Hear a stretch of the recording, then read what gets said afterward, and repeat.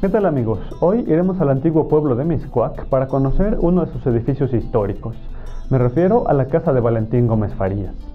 Ubicada en el antiguo barrio de San Juan Marinaltongo en Miscuac, en la actual plaza Valentín Gómez Farías, los orígenes de la casona se remontan a la época de la conquista, cuando una construcción más primitiva alojó a Fray Pedro de Gante.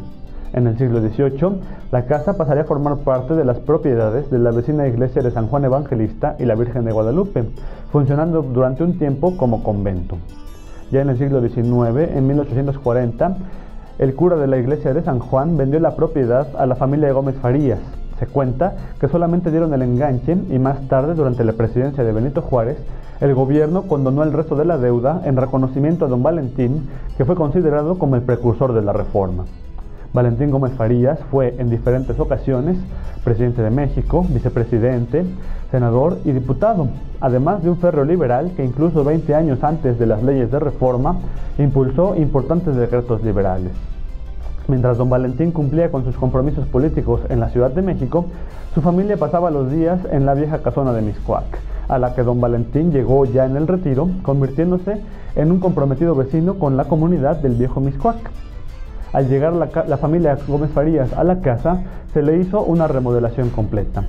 Pisos y techos fueron renovados, se construyó un ala para la servidumbre, mientras que en la parte posterior se acondicionó un gran jardín con magnolias, fresnos y nogales, además de adaptarse cuatro grandes recámaras, baños, vestidores, cocina, sala, comedor, así como una biblioteca, un salón de juegos y una sala de estar. En agosto de 1847, la vida de Miscoac se vio alterada al establecerse ahí las tropas estadounidenses, siendo la vieja casa de don Valentín saqueada y destruida parcialmente, por lo que tuvo que ser reparada para recuperar su antiguo esplendor. Años más tarde, en la casa contigua establecería su domicilio don Ireneo Paz, abuelo y guía literario de Octavio Paz. Un hecho curioso es que al morir don Valentín y debido a su férreo liberalismo, la iglesia le negó ser enterrado en cualquier cementerio católico y además, temiendo que su tumba pudiera ser profanada por los conservadores, a su familia no le quedó otro remedio que enterrarlo en el jardín de la vieja casona de Miscuac, en donde, en donde permaneció hasta 1933, cuando fue trasladado a la rotonda de los personajes ilustres en el Panteón de Dolores.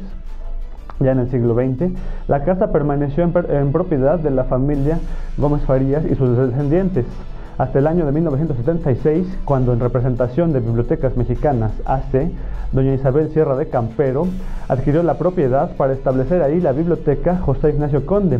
Sin embargo, en 1981 y por decreto presidencial de José López Portillo, en la casa se estableció el Instituto de Investigaciones Dr. José María Luis Mora, nombre de otro connotado liberal y muy cercano don Valentín, y que hoy es una de las instituciones más prestigiadas en cuanto a investigación histórica se refiere, por lo que bien vale la pena visitar este rincón de Miscuac. Es todo por esta ocasión, nos vemos la próxima semana con una nueva recomendación de esta, nuestra ciudad fantástica. Para yoinfluyo.com, Carlos Cortés.